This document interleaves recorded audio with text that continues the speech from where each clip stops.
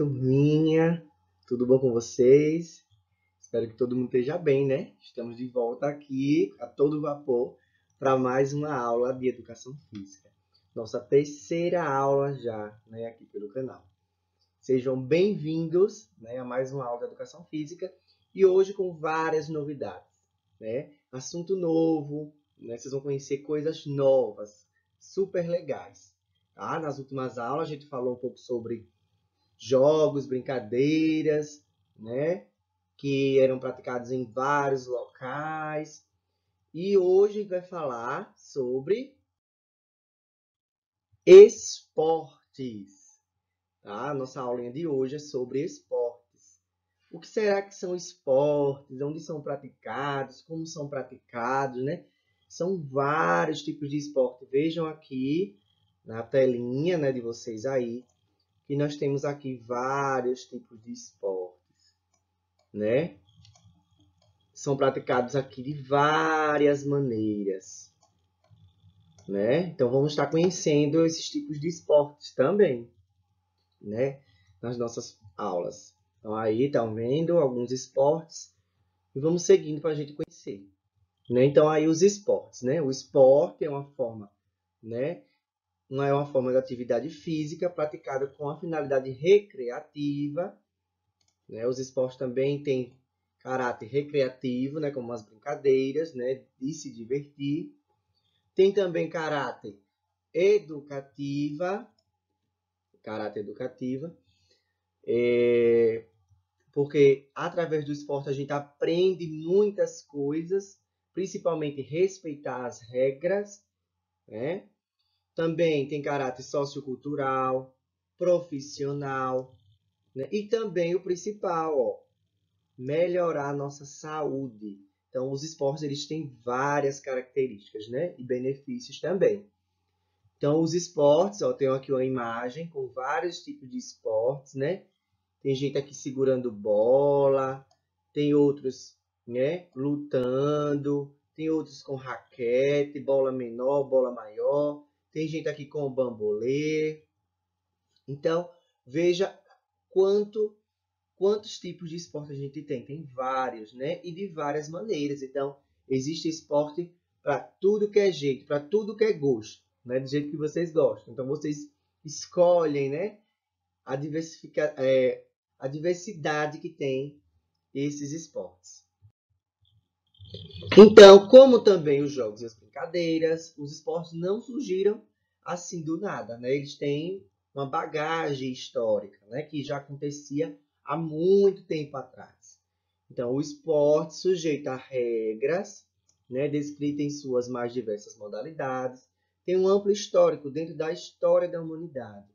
Então, o esporte que era jogado antigamente, né? Praticado, não é a mesma coisa de hoje. Algumas regras já mudaram, né? O fardamento, os acessórios que são utilizados, né? Os aparelhos, e tudo muda, né? Nada é igual como hoje, né? E os esportes, eles seguem regras, né?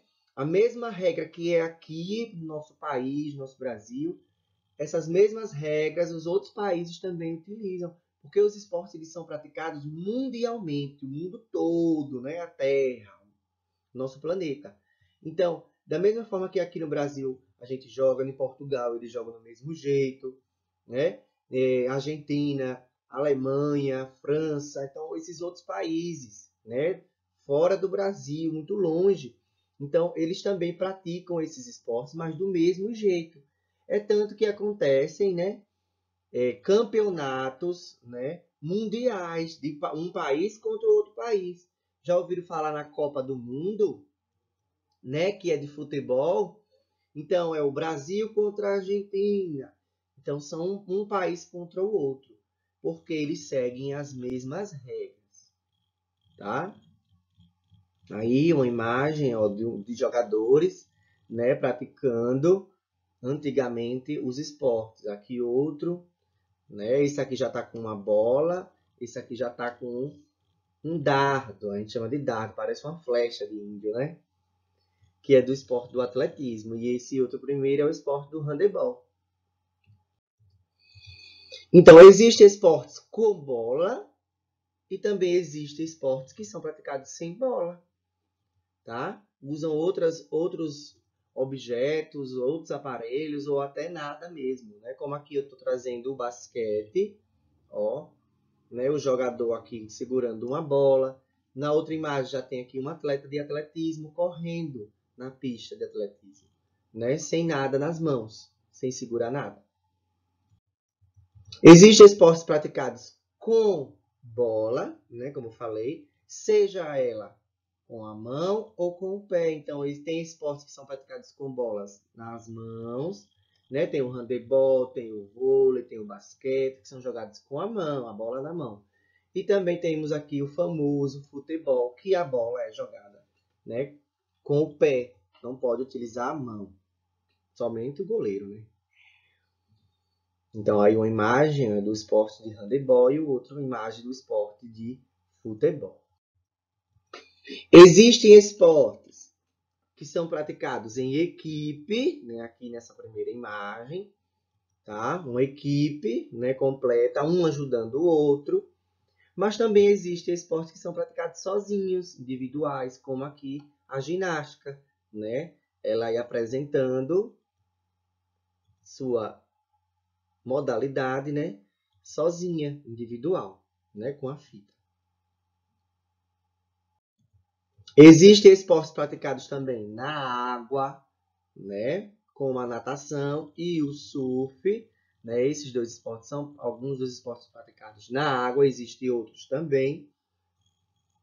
Veja que, que diversidade né, que nós temos de esportes. Existem esportes praticados no solo, né? um exemplo aí novamente do atletismo, que é pé no chão. E também existem esportes praticados no gelo, né? Veja que legal. Então, são vários tipos de esportes. Existem esportes que são praticados com algum meio de transporte, como o ciclismo, né, que é praticado com a bicicleta. E também temos o skate, aqui, ó, né, a garota aqui fazendo suas manobras com o skate. É, veja que legal os esportes, né? Então, gente, meu muito obrigado de hoje né, pela nossa aula. Foi para vocês conhecerem o que é esporte, né?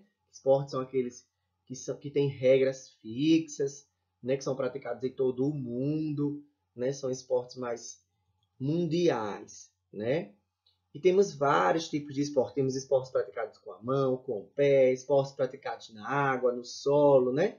Esporte que, tem, que exige meio de transporte como a bicicleta, o skate. Então, são vários tipos de esportes, né? Então, nossa aula prática de hoje, né, minha atividade que eu vou deixar para vocês prática, tá?